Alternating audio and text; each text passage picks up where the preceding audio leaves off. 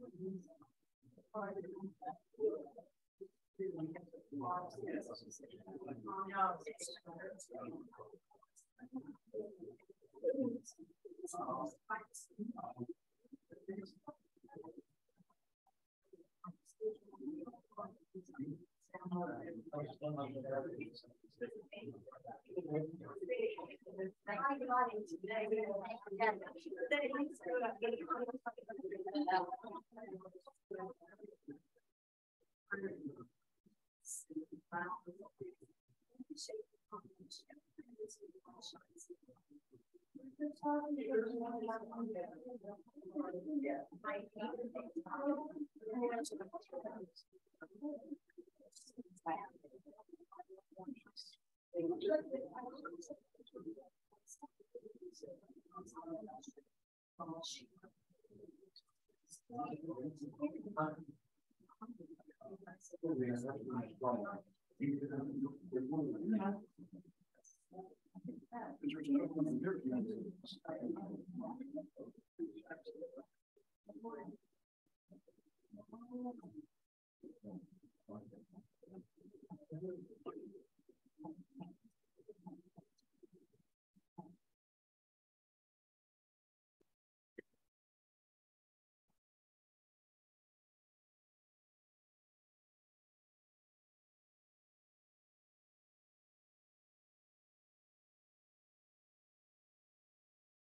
Thank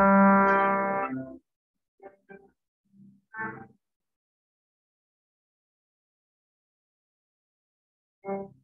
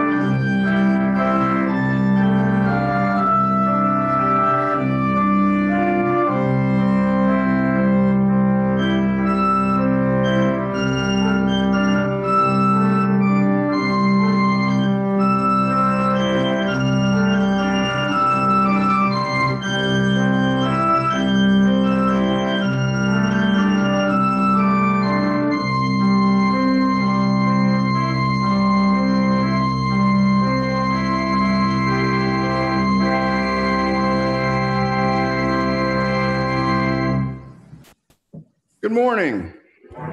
And welcome to Trinity Reform United Church of Christ, where no matter who you are or where you are on life's journey, you are welcome here. I want to thank you for joining us here in person as well as online and hope that you're truly fed by the worship of our, worship of our God this day. On the table at the rear of the sanctuary is a giving tree.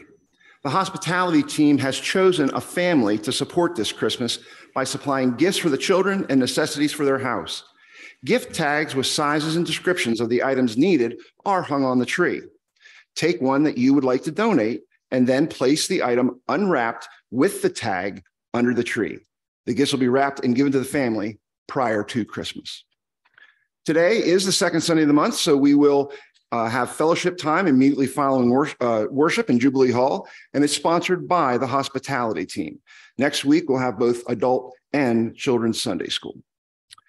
Remember this Saturday, this Saturday, December 17th, we'll be having our traditional cookie walk. So remember to get out and support your church by coming to the cookie walk on Saturday. Anyone who can help with this event should contact Jane Coons or Don Hummel, especially for baking of raisin fills. So we appreciate your help. Cliff Helwood, Helwig would like everyone to please stop by Jubilee Hall before you're leaving if you're not staying for uh, fellowship hour, as he has a gift for every family. Grocery cards will also be sold over in Jubilee Hall uh, after service, and you can and if you if and those online, you can simply call the church, and we will uh, and let us know what if you want Weis or giant cards, and we can either have them delivered or ready for you to pick up. This is this is a really vital fundraiser for the church. It's one that not only helps us to remain open, replenish our reserves, which we keep dipping into every once in a while, and helping our community with missions. So this is a vital fundraiser that we all hope that you will you will support. And finally, as we prepare for worship, I want you to let us empty our minds of anything that would distract you from realizing the presence of God's Holy Spirit during this time of worship. So let us now experience God's worship as we join together in the lighting of the Advent candle.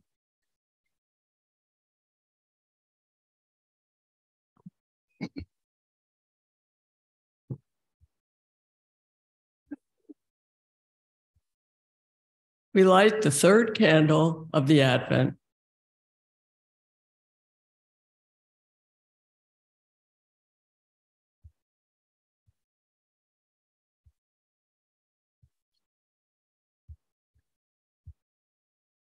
John, when you point us to your light, the light will come into our world and enlighten everyone. God sent John the Baptizer to prepare the people for the coming of Jesus Christ, the true light of the world. John called for people to repent of their sins and to live faithfully. He baptized with the cleansing water and proclaimed the new life that Christ, the one who would follow him, would bring. This Advent, we ask for God's mercy.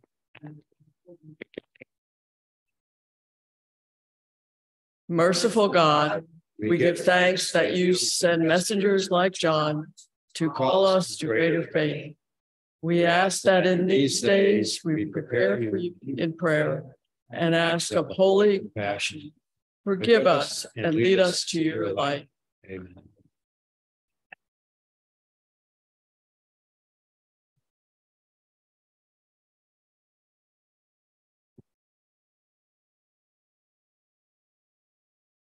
Please join me in the call to worship found on the walls and on your screens.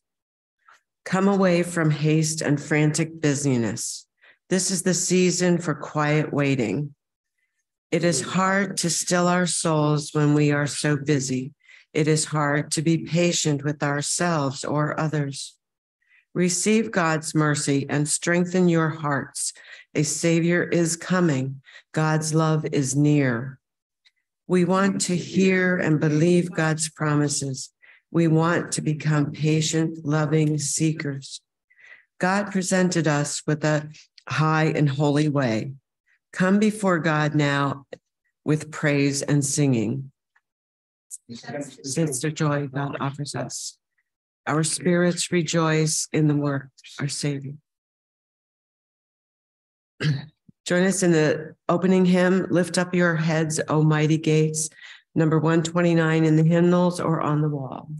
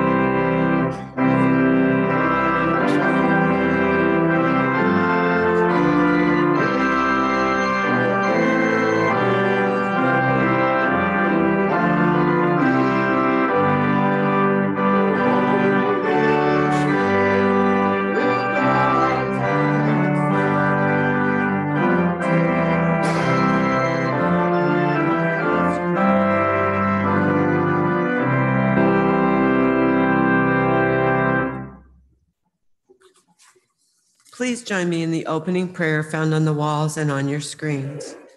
Mighty One, we rejoice that you strengthen our weak hands and make firm our feeble knees. You open our eyes and unstop our ears. You meet our hungers with good things. You disturb our false pride while helping us discover our true strength. You topple us from our pretensions while lifting uh, up the lowly to claim the inner power you alone can provide. We have assembled to worship you. Awaken the gladness that comes when we recognize your presence. We long to know you in this hour. Amen. Please be seated.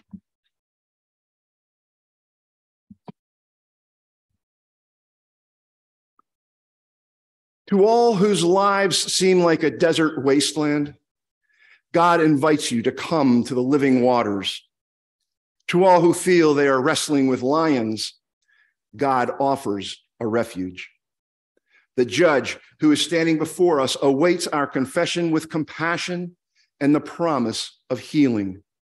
So let us confess our sins by reciting the prayer of confession found on the walls and on your screens. Come into our emptiness, gracious God. We feel empty because we've shut you out of our lives. Break through our pretensions, Holy One. We pretend to be powerful because you have not claimed the peace that is available deep within when you dwell with us. Quiet our grumbling and complaining. We are impatient because we have focused on things, not on you enter our lives with the forgiveness you have promised to all who are truly sorry for their unfaithfulness. Release us from our self created prisons. Amen. Let us now confess our personal sins in silence. Lord, hear our prayers.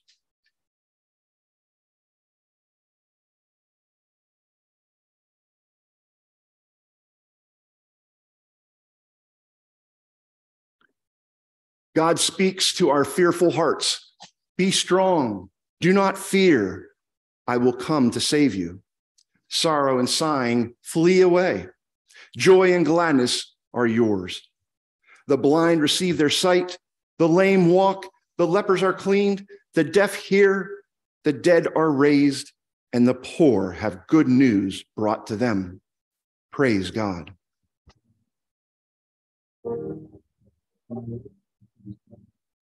Thank you.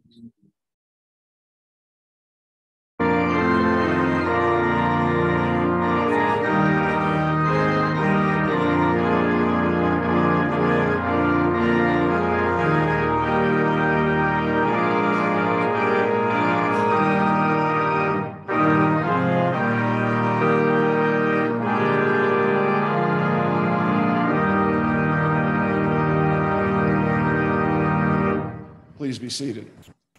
And children or young adults, you want to come on up?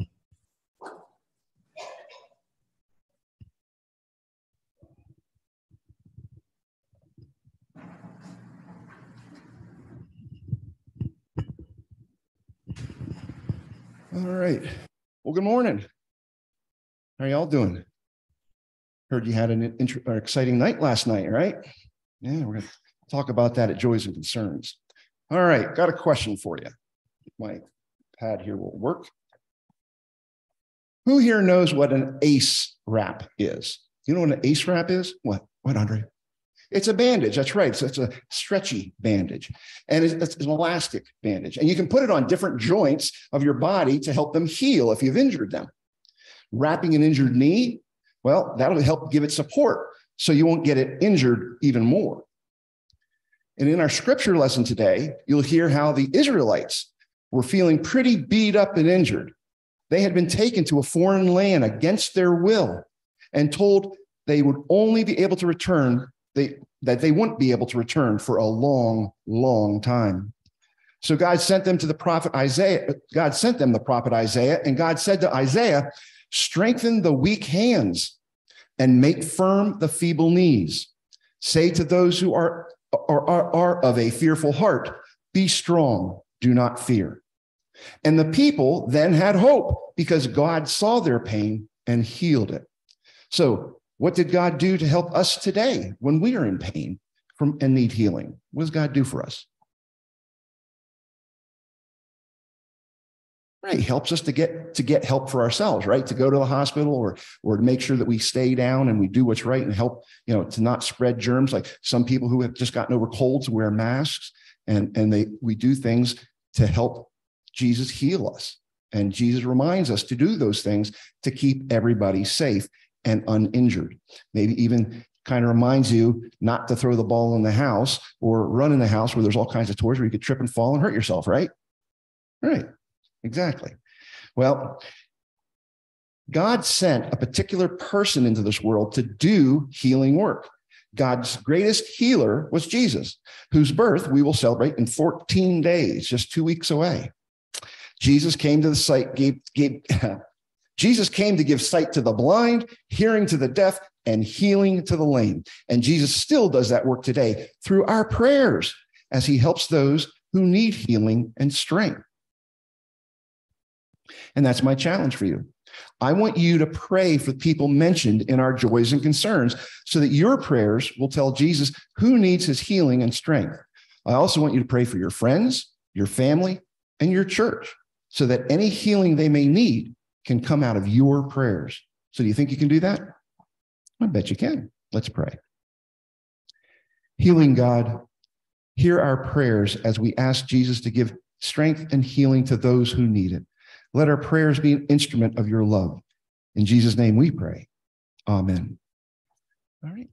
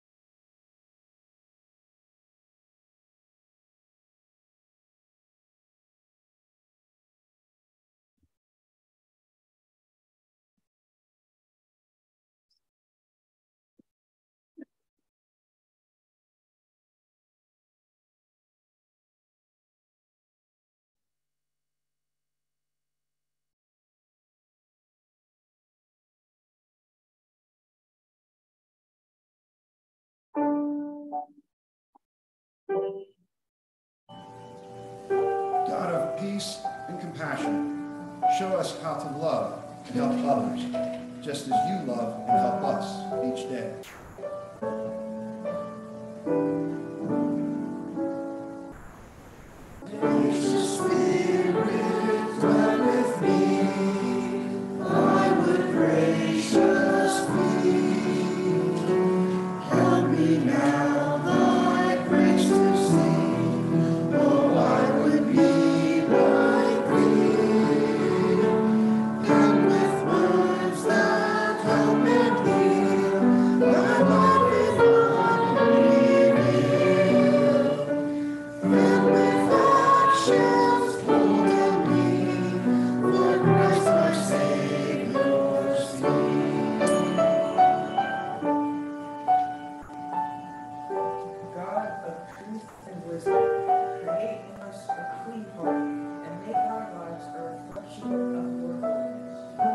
Holiness. God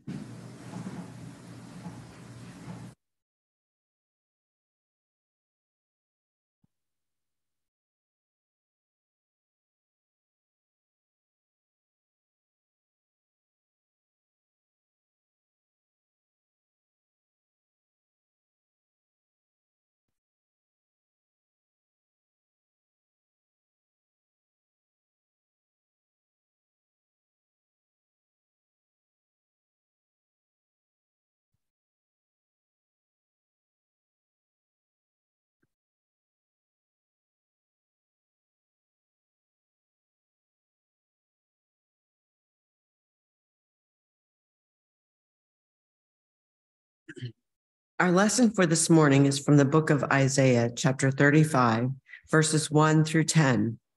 Looking to a few a future eschatological hope in a time of contemporary trouble, Isaiah describes the transformation of the land of Zion and its inhabitants after the Lord defeats Zion's enemies.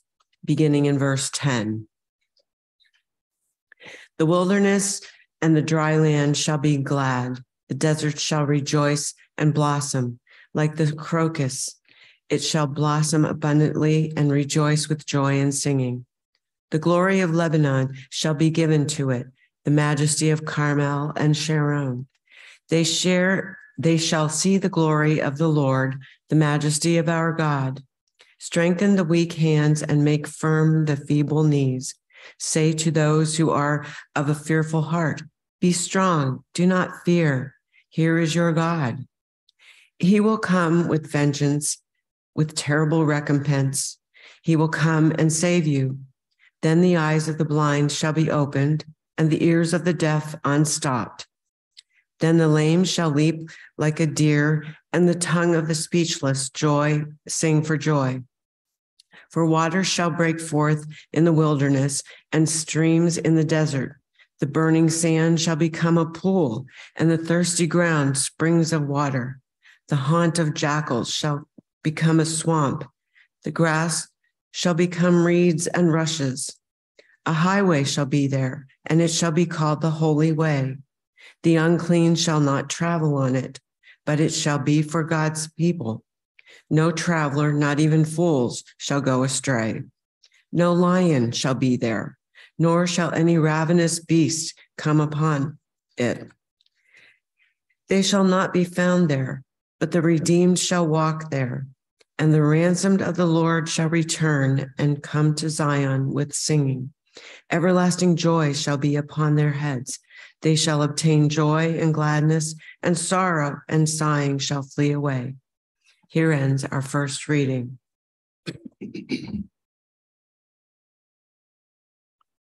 Our gospel lesson is from the book of Matthew, chapter 11, verses 2 through 11.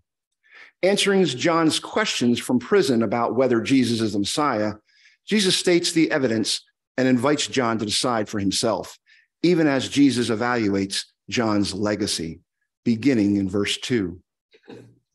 When John heard in prison what the Messiah was doing, he sent word by his disciples and said to him, Are you the one who is to come, or are we to wait for another?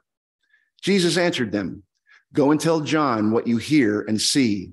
The blind receive their sight, the lame walk, the lepers are cleansed, the deaf hear, the dead are raised, and the poor have good news brought to them. And blessed is anyone who takes no offense at me. As they went away, Jesus began to speak to the crowds about John. What did you go out to, into the wilderness to look at? A reed shaken by the wind? What then did you go out to see? Someone dressed in soft robes? Look, those who wear soft robes are in royal palaces. What then did you go out to see? A prophet? Yes, I tell you, and more than a prophet. This is the one about whom it is written See, I am sending my messenger ahead of you who will prepare your way before you. Truly, I tell you, among those born of women, no one has arisen greater than John the Baptist. Yet the kingdom, yet, yet the king, the least in the kingdom of heaven is greater than he. Blessed are those who hear the word of our God and believe.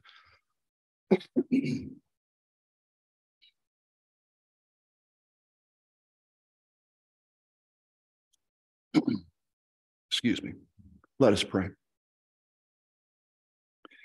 God of infinite possibilities, open our eyes and our minds to see the opportunities that lay before us. Help us to have the courage to join you where you are working as we strive to be the church. Bless us to do your will as we pray that the meditations of our hearts and the words of my mouth might be pleasing and acceptable to you this day. In Jesus' name we pray. Amen. In our Old Testament lesson, Israel is in exile because, they were, because they believe that due to their unrighteous actions, their relationship with God is broken. And yet, because of God's grace and forgiveness, God promises a better future for Israel. And it's because of God's grace and mercy that humanity gets a second chance, a third chance, a fourth, a fifth, and so on. And isn't that what we depend on too? Not only in our personal lives, but especially in our church lives. We know that we don't always live up to God's will for our lives. And the same goes for the body of Christ, the church. The church certainly hasn't lived up to God's will. If we did, there wouldn't be hundreds of different denominations in the world. God's will is that we all may be one, but we can't seem to stay in relationship with each other long enough to do that. So we not only split up our, rela- our religions, but we fight, we criticize, and we judge one another as churches, let alone as individuals. And yet, for all the differences and all the conflict, God continues to bless the church. We remained open during the pandemic when we thought for sure it would be the death of Trinity. We now have live streaming, something we wanted to do, but never had the money to do it. But we were forced into doing live streaming, and it's worked wonderful. We put together a mission and vision committee when things got tough and we needed to find new ways of being the church. Again, it is because of God's grace, God's mercy, and God's forgiveness. It's not just because of what we do or what we believe or how righteous we are. God's grace keeps our doors open. God's grace allows us to be the church, a forgiven and forgiving people. God's grace allows us to have the resources to help God's people. So let's look at what God has led us to do here at Trinity. We continue to worship, but we do it as a team. We do it together. We have liturgists, acolytes, greeters, ushers, a choir, altar preparers, communion preparers. Together, we are a worship team and we find new ways of worshiping. And today is going to be one of those days. You'll see in a little bit. We are a mission church as well, reaching out to our community inside and outside the church. We help and support the food bank, Panther Packs, Susquehanna Area Mission Council missions, ministerium missions, benevolence for community and church organizations, the Book House by the Bell, helping those in recovery, crock, pot cooking, trunk or treat, a visitation team, caroling to the shut ins. And the list goes on and on and on. And on top of all of that, we are an open and affirming congregation, welcoming all who seek Christ and have the rights and privileges of membership, no matter where that you are on your journey. Because of the grace of God, we do so much here at our church for our members, for our friends, and especially for our community. We look to see where God is working so that we can join in. We strive to do God's will as the body of Christ, working together in relationship with our God and with each other. So, where else do we need to go? What else do we need to do? Think about those two questions. Where else do we need to go? And what else do we need to do? Start thinking. How can we continue to do God's will in our town as well as in our church? These are the questions that you need to answer as the body of Christ. You have, we have the opportunity to set the directions of this body of Christ and what it takes and which where what what direction it takes and decide how we might be a blessing to others. So we're going to take some time right here and now to talk openly about where we've come over the last six years. Let, let i say six years because that's how long i've been here since 16 to now. So let's openly say where we think or where we feel we still need to go. Because as the sermon title says we have infinite possibilities due to the grace, forgiveness, and mercy of our God. Now,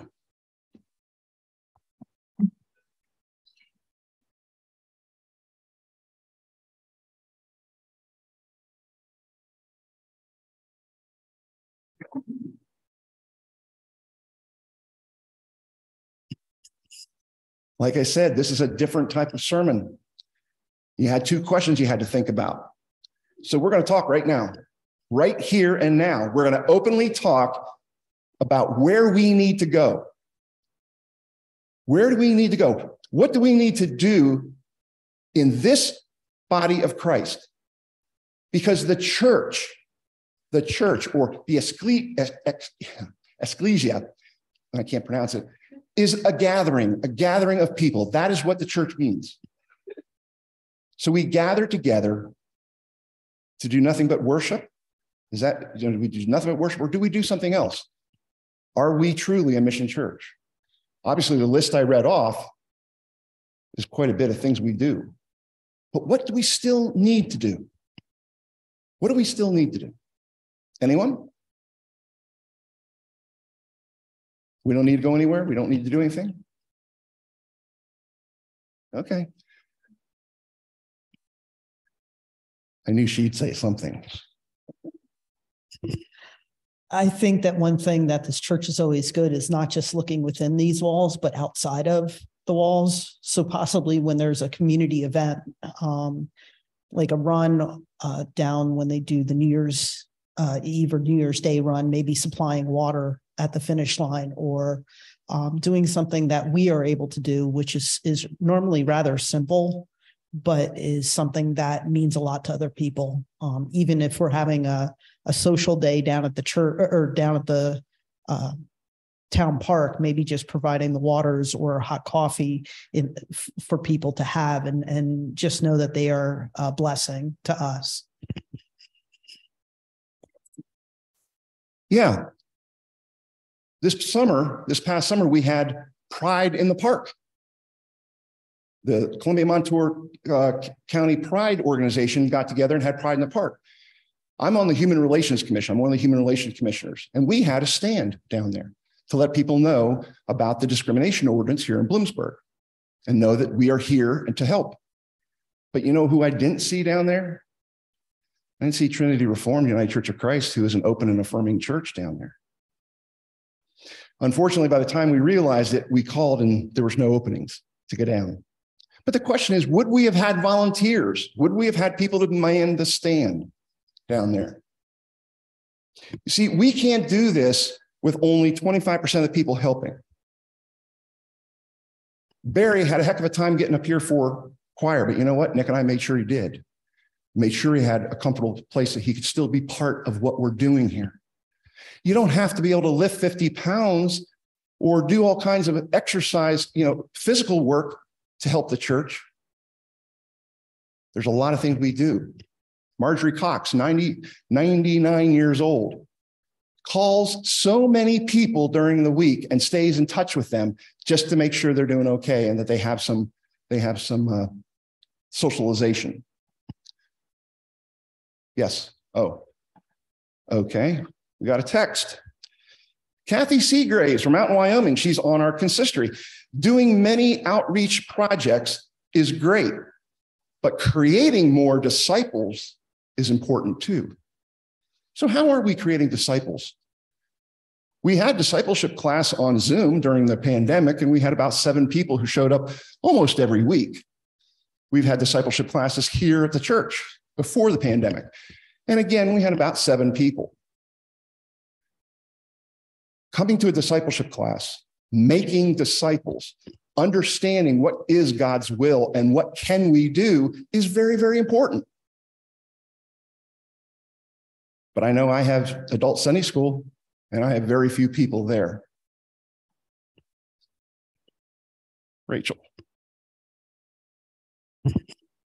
You will probably not be surprised by my suggestion, but I, I think that we could be doing more outreach for children. So um, there's a lot of um, child related activities that are happening in the community on a regular basis. And so even just having, you know, one representative there volunteering or, you know, having um, something there because we do have i mean the the children's sermons are so beautiful i feel like that's such a special part of what we have here um, obviously we welcome children into the choir um, you know we that is the future of our church. So, you know, anywhere where we can grow, um, I think that that would be time well spent.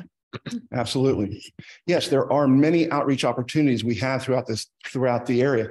Last night there was a recital right here in this sanctuary. A music recital was here in the sanctuary. You'll hear a little bit about it in Joyce Concerns.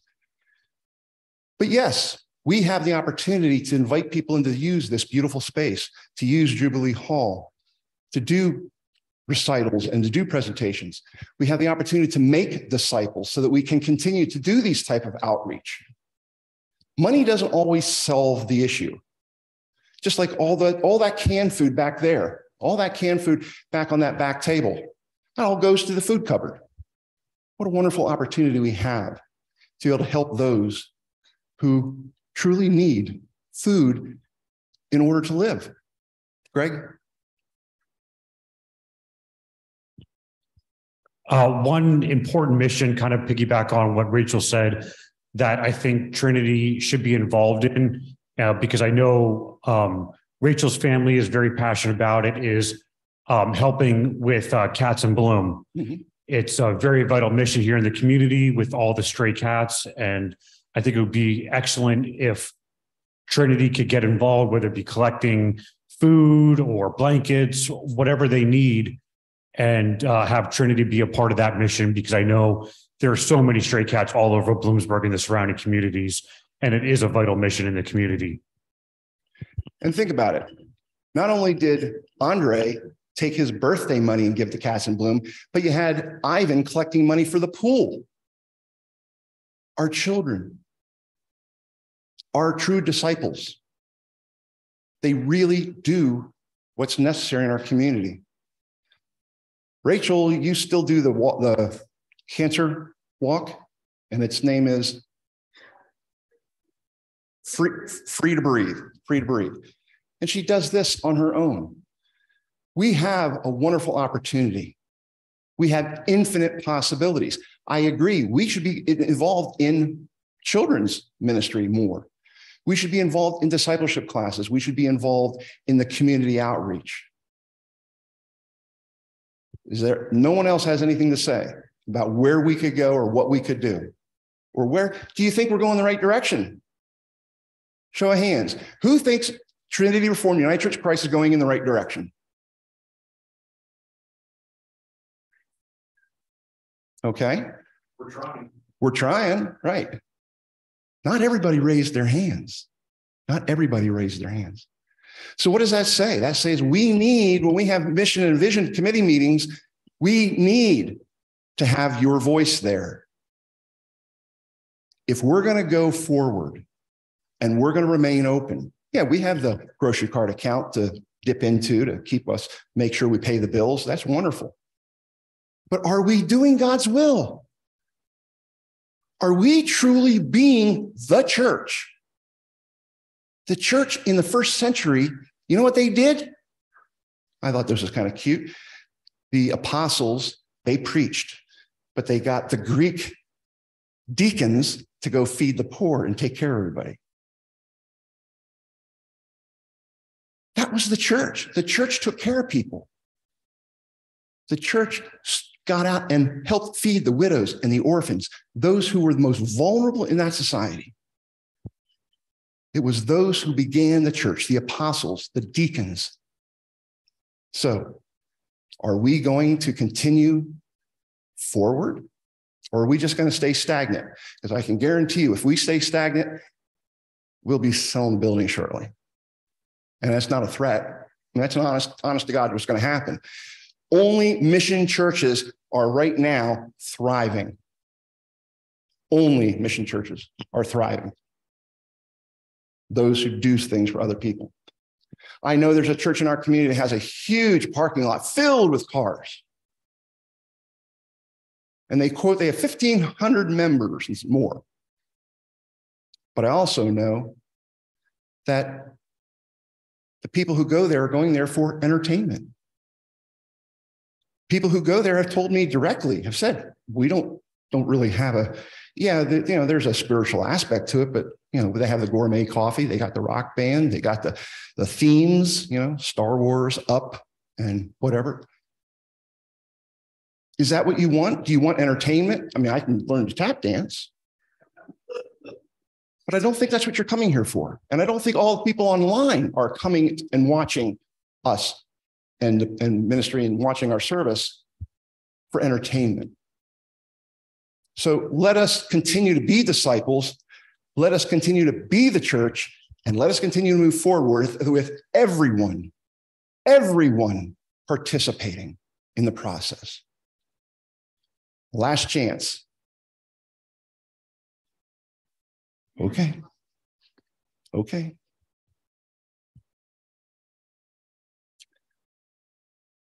I will talk about one other thing before we move on.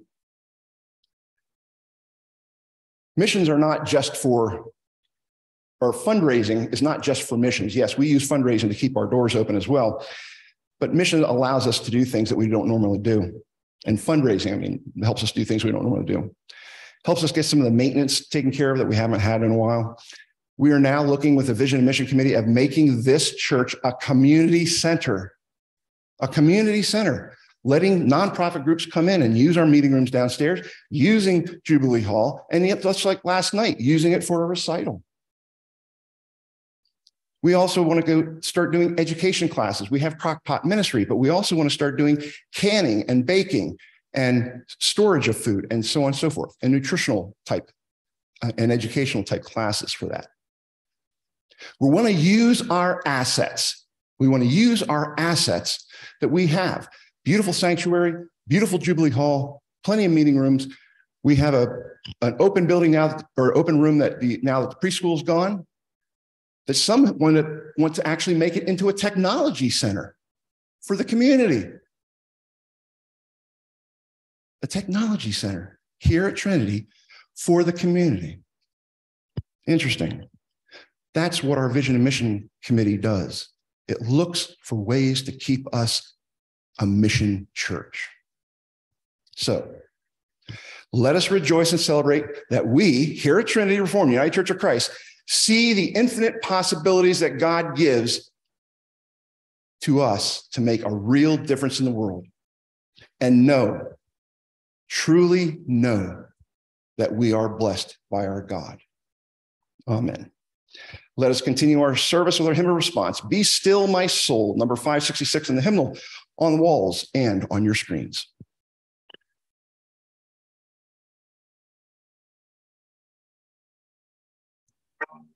Thank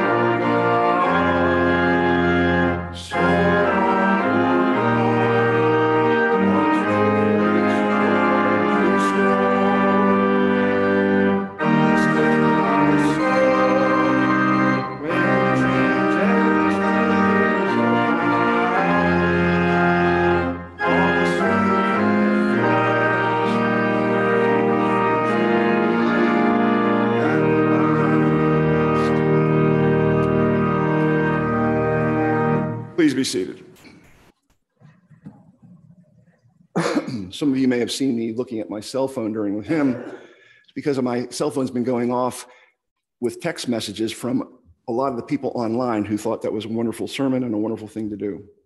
So I hope that um, I'm glad that the online people saw that as uh, a good thing for us to really look at. Where do we need to go and what do we need to do? So thank you. This is, of course, the time of our service. I want to remind you to take notes of the people mentioned in our joys and concerns and join your list today with the one from last week and place it on your refrigerator, on your nightstand, or on your coffee table, anywhere that'll remind you to, to share God's love with others through your prayers. This truly is a vital ministry here at Trinity and one that has had some amazing results. I'd like to start with Margie Cox, who has been busy baking cookies for our cookie walk. And of course, that means a lot of time on her feet. Margie is not here today because her hip is bothering her. So let us keep Margie Cox in prayer that she might find comfort, strength, and healing for a sore hip. Also, I'd like to uh, announce or uh, announce a joy. Like I said last night, there was a recital here. Harmony Arts Foundation had a recital here, and all three of the Troy Chalk boys played the piano last night. So it was uh, their first student recital, and like all, all three, like all three played just wonderfully. And there are uh, there are recordings on Facebook. So if you want to check it out on Facebook, you can check it out on Facebook. You'll hear them. Even Victor was up there playing. So it was pretty cool. Really nice. So it's nice to see that other things, our sanctuary is used for other things as well. And we are so truly thankful for uh, Harmony Arts being a part of our, our uh, church here. And as always, I remind you to send in your joys or concerns to us through email, through text, or through phone, and we'll be sure to include them in our next service. So now let us pray. O healing presence, whose claim on us is strong enough to change our direction, look with favor on this gathered congregation, that none may go astray, but all may respond with joy to your promises and go out and share your good news with the hungry and the needy and the oppressed. As today we ask mindfully that you watch over and comfort our friends in Christ, such as our homebound, those in life care centers, those on our prayer list, as well as those named here today. And we celebrate with you the saints of this church that serve your people with love. Now, in a moment of silence, hear those prayers too private to speak out loud. Lord, hear our prayers.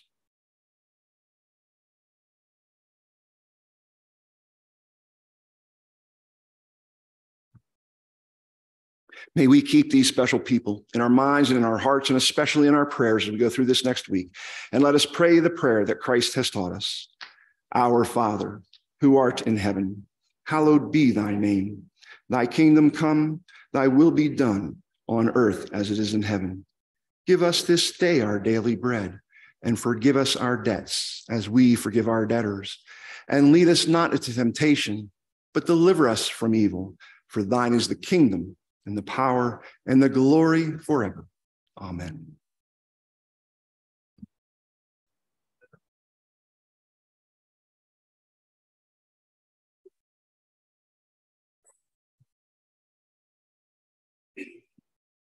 God continues to lift up the lowly and to topple the powerful from their thrones.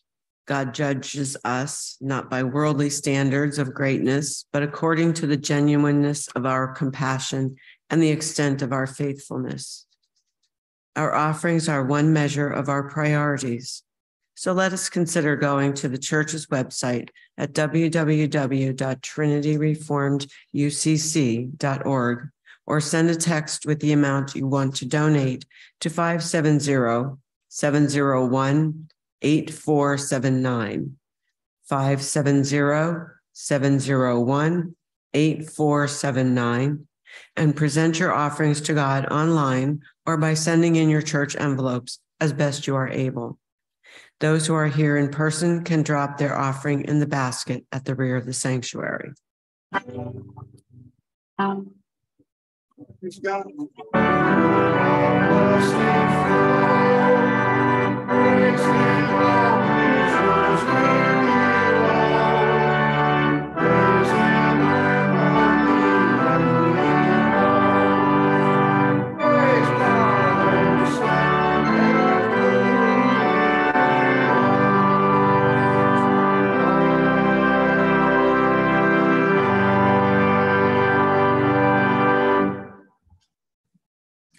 Please join me in the blessing and commission found on the walls and on your screens. God has been present with us here today. God also sends us out into the world. The world we are about to enter is God's world. We can count on God to be with us every day. God's judgment is sure, but so is God's love. God lifts us, lifts up the lowly and offers them strength. Our eyes and ears have been opened to God's truth. We have good news for all who need to hear it. Be patient with others and do not grumble. Be patient with yourselves as you seek the holy way. Like the prophets, we seek speak in God's name. Like the lowly servants, we are eager to help others. Amen. I promised a long time ago to do these congregational conversations at least once a year. And of course, during the pandemic, we didn't weren't able to do them. So this is the one for this year. So you can expect one for next year too. So where does Trinity Reformed UCC go from here? What possibilities exist that we as a church, the body of Christ, could address here in our community?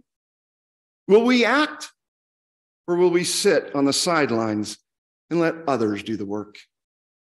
It is when we no longer have a mission that the time will come for us to close up shop. There are infinite possibilities for this congregation to take on as a mission project so that we are truly the body of Christ, sharing God's love throughout our community and the world. Let us just do it. Amen.